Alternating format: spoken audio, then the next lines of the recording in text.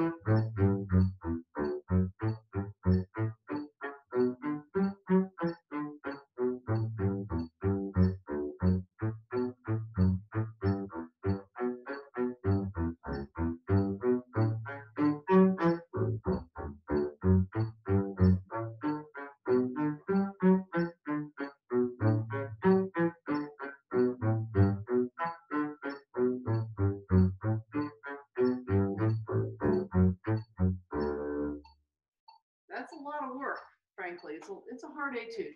So let me just point out to you what I did there at the end. You can see at the end of the second line, there's a little sign. That's going to tell you when you come back at the repeat, you're going to jump to that very last line. Um, and so that's called a da capo al segno, which means go to the sign. Um, the DC means da capo, which means go back to the beginning. So um, if you haven't ever had to do that before, it can be a little confusing. Now, I know from past Allstate things, they don't get to the end. So I don't know what segment they will ask, how far you'll get. Uh, you may even get to the third line. They'll say, thank you. I don't know how much time you'll get. Um, also, if this is done on video, you may have to do the whole thing. So I would be prepared to play the whole thing. I, I think, I think they're submitting a. I think they're submitting a recording, right? Oh, okay. So you have to do the whole thing. okay. So you heard that at top dollar speed. Here's my advice. I'm not so sure I would do it that fast. It really does move quite rapidly. So tone quality, you have to be careful when you're doing what I'm demonstrating because it's it almost can get real tacky, ticky tacky kind of. So you want to practice this bow stroke. String. I do not let it go all like that. No, no, no. It's stuck.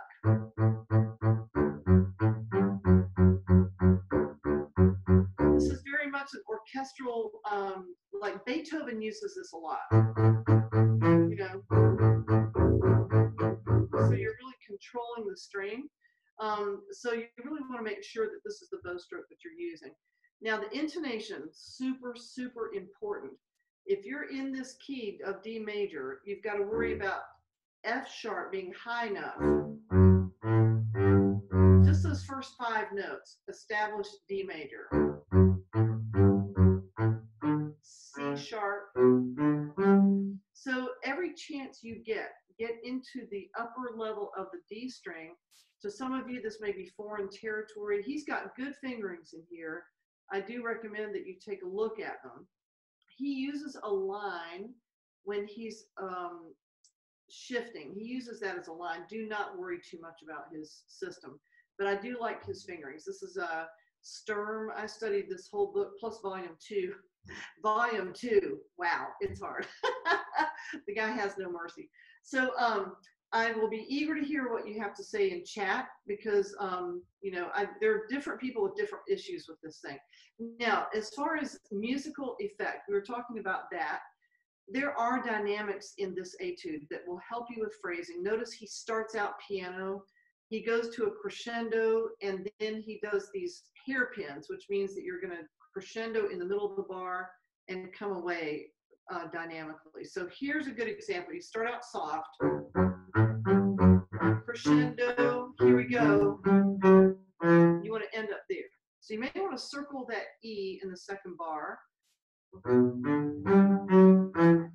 Back off. Piano.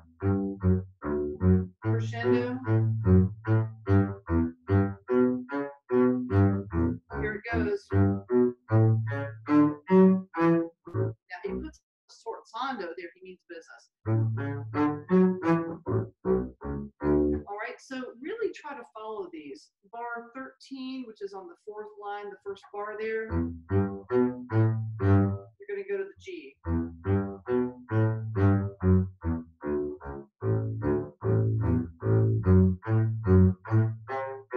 A is in the middle of the hairpin. Whatever note is in the middle of this hairpin is the note you're going to go to, and you're going to back away.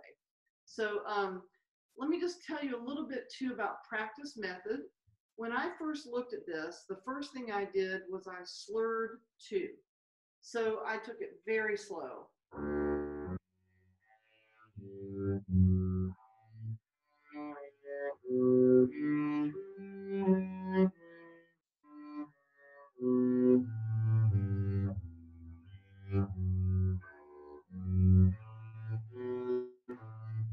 So that's just my method. It gives my brain kind of time to see what's on the page and see where I'm supposed to go. Helps me see accidentals. Um, the third line, you start to get the accidentals big time. You've got A sharp, A natural, you got G sharp, and then you've got the continuation of the G sharp. So you really want to make sure that you're marking these spots that are just kind of tricky. That third line, that's bar nine there. So the A sharp, big arpeggio.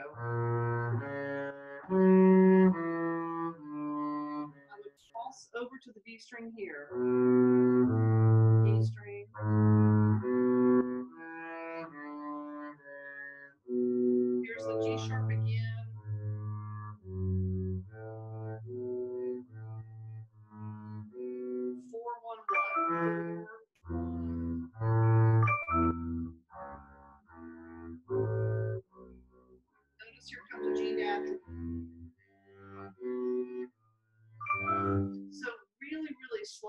Practice on this and joined together. So your final version is the short. Don't try to do it from the get-go. It really won't give you a very accurate intonation. So um, I'm ready for some questions. Taylor, if people have chat questions, that'd be fine. Yeah, yeah. You guys can just type them into the chat. Um, if you have anything that you want to ask or address. Yeah, it might help. I was telling Taylor, I've numbered my bars so that on the outside there, it's like one, five, nine, 13, 17, and 21. So that um, when you're asking me a question, you can refer to the bar number. That might be good. Like if you need a fingering for something, I'm happy to help you with that. Uh, yeah, we have a question about that. Um, iPhone asks, uh, could you go over the fingering in the second measure? Second measure, okay? So here's what he's got. Um, I think it's actually a good fingering. He puts a four on the D string. I know this part is almost microscopic, but he, he's gonna go like this. So it's. He's got a four there. What is he have there? Four. So you're gonna four two, cross to a four. There's the one right across the street. Harmonic G,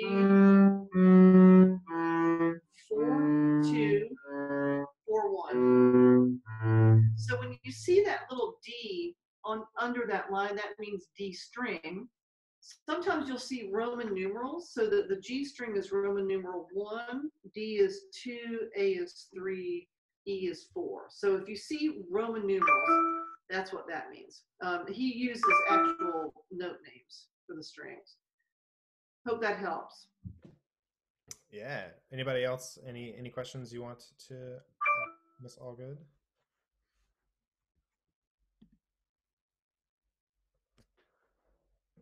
Going once, going twice. Don't be shy. No question is too, uh, you know, dumb. It's really, there's no dumb question for this. This is a very tricky thing.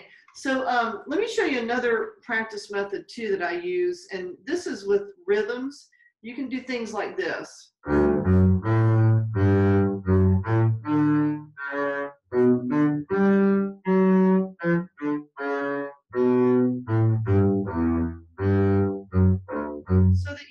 Too bored with the etude. You can just kind of mix it up a little bit.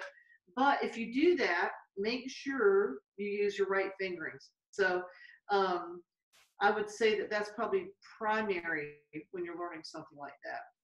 But um, the other thing I just want to emphasize the tone quality. They're listening for that. They they grade it one to ten, intonation one to ten, and musical effect one to ten. So those three things are what we're looking for. And that's why I went over the dynamics. If you look really closely, it helps to zero in on a bar. I'm looking at bar 17, for instance. I'll try to crescendo to that. I'll back off, crescendo. Notice how slow I'm going, right? If I go, you're probably not going to hear it. but if I do it that, uh,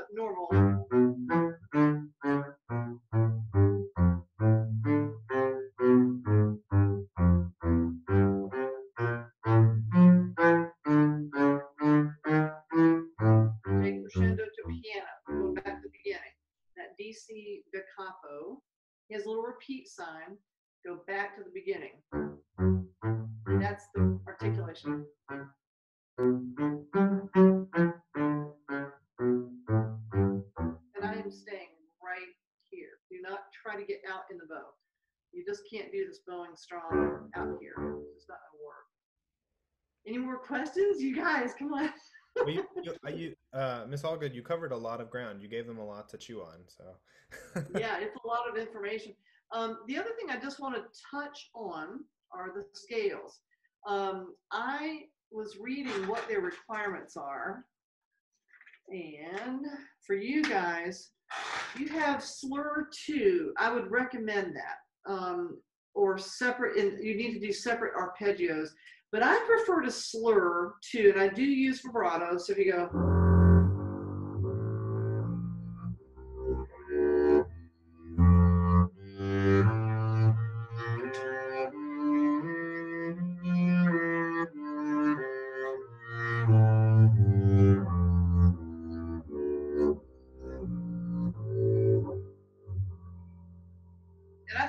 For a nice sound if you don't try to push your bass to be really loud. If it's very loud, you can't get a beautiful sound. So think of your scales as a thing of beauty. Don't shy away from being real pretty.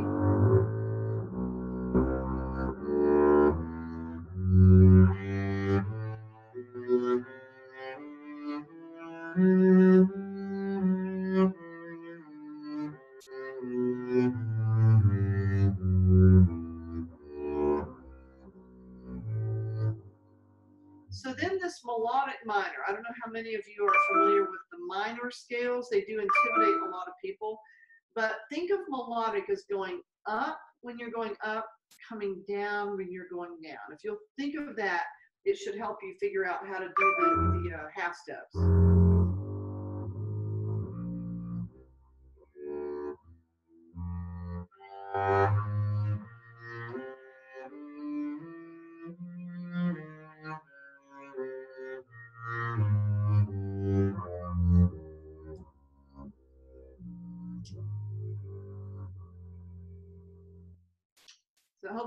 Helps you with the music theory end of things a little bit.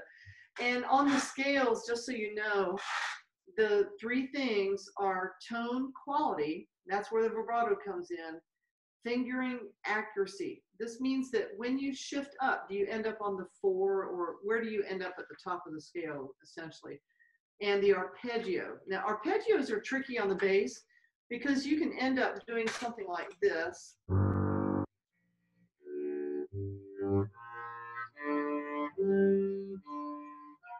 It's shifting a lot, right? You can shift a lot. Like this. So you want to make sure you avoid big, big shifts like this. And the only way to do that is to get up into the uh, positions that are right up here. So you go shift here. Try this. Put a two on the A string, one across, four, four. So you look like you're barely moving. So that's where your lazy shifting comes in. Look for the most efficient way to stay on your instrument. Don't try to go, you know, up and down, up and down. um, and on bass, it's very obvious when you're doing that. So hopefully I'm hitting enough you know topics for people. I think so for sure. I had one thought. Um, yeah. No, at the beginning you were talking about the so it's it's marked quarter note equals ninety four, um, and I, we've done a couple of these with like the cello and the violin and stuff, and I had some students who were concerned. It seemed like they were really concerned about getting up to that metronome marking, mm-hmm. but that's not a that's not really that's not definitely not the most important thing is to no i would say and let me tell you a personal story. This is very funny. All my students know this story because i tell it to them all the time. When i was in ninth grade i auditioned for allstate and then when we got there to the orchestra we had to do another audition for seating. So the year i did it believe it or not star wars came out that year. So you have this you know the really fast triplets, John Williams, you know, really fast. So I knew the music. I was I had heard the movie music and I knew, but when I saw the music, for some reason I was this.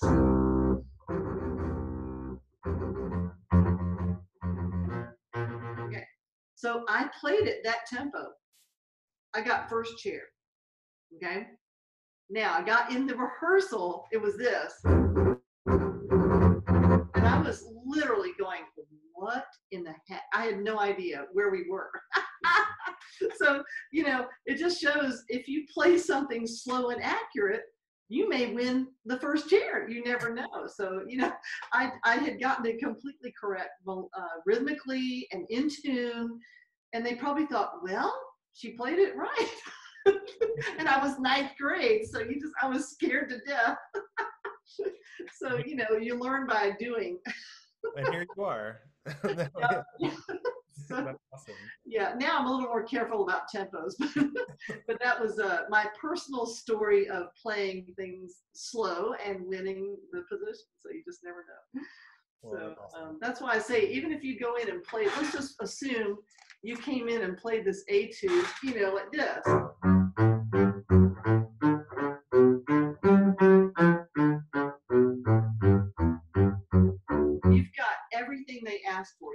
Tone quality, the intonation, and the musical effect. So that's what you're after. And I just want to um, really impress that upon you. Now, sight reading always scares people too. So, sight reading, let me just tell you that the last note of the piece is going to be the key that you're in. We live in Western music territory, and therefore, the last note is D in this case. So, you look at the key signature, there's two sharps, that makes it D major. Um, if we saw B flat, it'd be F minor. but for now, we're going to be, um, you know, assuming this is D major. So always look at your key signature, numero uno. Look at your tempo marking. You know that allegro, moderato, not too fast, right? And then you look at the rhythm, right? So you're just trying to get an, an estimate. When you're looking at this, take a moment to look at the music. Do not just start playing that would be my other piece of advice. really look ahead, even finger it before you start playing it out loud. I think it's very helpful to just kind of cheat a tiny bit, take a minute. so actually, actually, that that is that's you know they're certainly going to sight read other things, but I will say that the great thing about this year is there is no sight reading on the audition. Oh, nice! Since it's taped, nice. you just... lucked out. I know, right? Uh, we had a question from uh, Cole who asked, uh, "So was that sight reading? I think maybe he was talking about you playing Star Wars." Um, it was not. I I literally had prepared it. It's so funny that I won that audition. I you know I'm thinking to myself, how could they miss that? It was these two ladies. They were. It was in a hotel, and the ladies were sitting there. They were very nice, and I played it really. Slow. Maybe everybody else did too. I don't. I have laughed and laughed about it. I mean, it really, it's one of those life experiences that, uh, and it was the only year I did Allstate. So, for what it's worth. I know I have uh, just on just thinking about that. I know a lot of teachers who teach. Um, I mean, uh, this this works out sometimes and sometimes not. But I, I know a lot of teachers who teach practice it uh, 20 clicks too slow all the way up until the like the day before the performance and then wow. the tempo. I'm like, that would give me anxiety. But but I get the, I understand the point is that it's more important to learn all the other parts of the music before the the speedy part. Yeah, and the other thing that happens in auditions, and even if you're recording yourself at home, you're going to get a little nervous. And what nerves do, it speeds up your heart. It creates physical um, manifestations of nerves. So your heart rate's going to go up, which is going to make you go faster naturally. So, you know, it doesn't hurt to start a little slower. And uh, believe me, nerves are still very real just because I've been in the orchestra, gosh, 37, this is my 37th year. Every now and then, there are some real nerve wracking situations. And you feel the same stuff. You feel the sweaty palms and the, you know, kind of lightheaded a little bit. I have a student who feels like she's going to faint. So some people really, really get into the mental problems of it, but do not let that bother you. You have to play beyond it it's going to be a problem. It's going to be there. So you got to get friendly with your nerves, you know. So um, there are professional musicians that take drugs to combat it, and I did that one time and never did it again. It made me too sleepy. so I was just exhausted. I was trying to stay awake.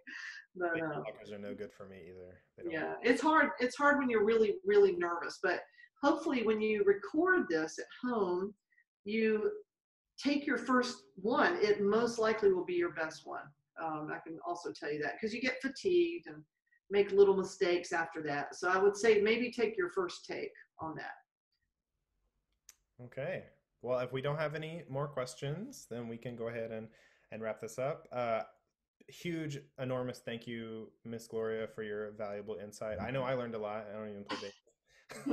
well, I wish all of you guys luck. I can't see your faces, but uh, I hope you do really well. And uh, just remember that every audition is a learning experience. And, uh, you know, you may not be perfect, but it may be the, the best one that they're hearing. So you just never know until you get the finished product. Exactly. All right. Yeah, I double that. Good luck, everybody, on your audition. Uh, and look out for more communication from ZTunes about upcoming clinics for Allstate and lessons and all that. Uh, and have an awesome week. Thanks. Have everybody. a good night, guys. Thank Happy you.